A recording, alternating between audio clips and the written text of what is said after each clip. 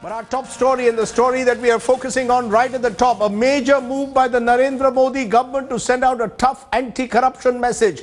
Defence Minister Manohar Parrikar has today ordered a CBI inquiry against two serving major generals of the Indian Army in a disproportionate assets case based on anonymous complaints.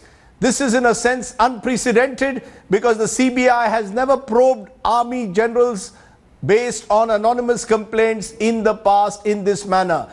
Major General Ashok Kumar and Major General S.S. Lamba are accused of allegedly possessing unaccounted wealth. The two generals allegedly also paid bribes to get promoted to the rank of lieutenant generals is what is being suggested in the complaint. I want to go straight across to Gaurav Sawant, our strategic affairs editor. Gaurav, give us more details. Why is this case being seen as unprecedented? What is it that makes it so different from the past?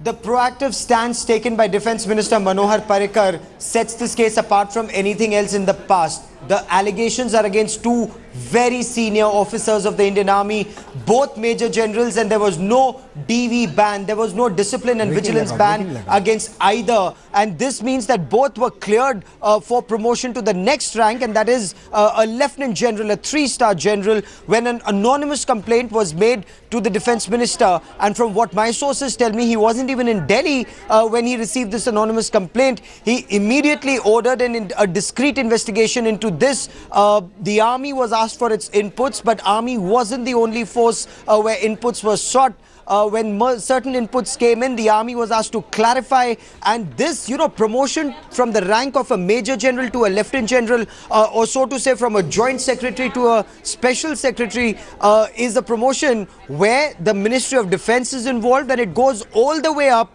to the appointments committee of the cabinet. So any names that are suggested by the army go through a proper vetting process. Now, in this case, Rajdeep, both these names were still with the army the list hasn't been declassified just as yet, but the allegations were very grave. The response that came in wasn't satisfactory is what sources told me. And it's just allegations at this stage which the CBI will now investigate. I just want to understand, this is based on anonymous complaints. Are we in the past when anonymous complaints have been given, have they been acted upon in this manner? Is this also a break from the past that based on anonymous complaints, the minister is willing to ask the CBI to inquire?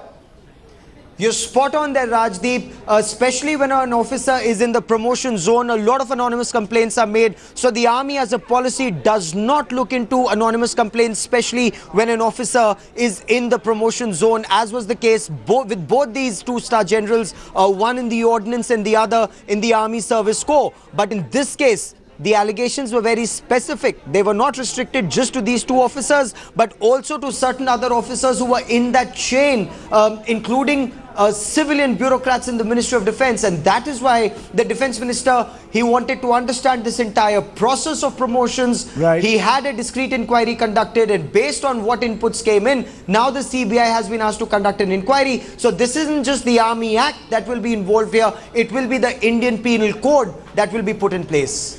Very, very interesting what has been done today by Manohar Parrikar and maybe it sets a precedence at the very highest in the army. Gaurav Sawant uh, joining us there with the very latest on that story. He's been stellar in his performance at Adelaide, unbeaten at 90. So we had a Virat Kohli fan in Pakistan, a Pakistani national who then had Virat Kohli's posters out in a big way and he... When there is an issue of keeping the conscience of this nation, we will not go back from that. And I will not go back to the past to tell you what you have done. But we believe what we did is the right thing and we will make sure that